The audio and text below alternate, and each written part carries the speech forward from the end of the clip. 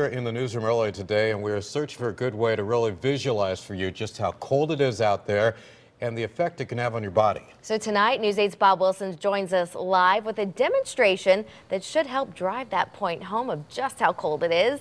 Good evening, Bob. Yeah, we just want to drive home the point of how dangerous this can be. We're here on top of the roof. We've got a uh, t-shirt, and I'm going to take the gloves off. We're just going to dump it right here into a bucket of water. I've got some water here. We're to soak it. And then we're to hang it out and we're to see how long, I've got a timer here, how long it takes for this to freeze. Because this is kind of like your skin. It's wind, wind chill. The wind goes across the top of your skin, causing evaporation off the top of your skin. And then what happens is it starts into on the uh, wind chill effect, causing frostbite once that starts freezing. So we're to hang this right here. And uh, I have it sticking to the ground in the ladder. I have a timer right here. I'm going to hit it. We're going to start it to see exactly uh, how long that takes to freeze. We can uh, check back here in a couple of minutes, and we'll show you just how fast and how dangerous this cold can be. Back to you guys.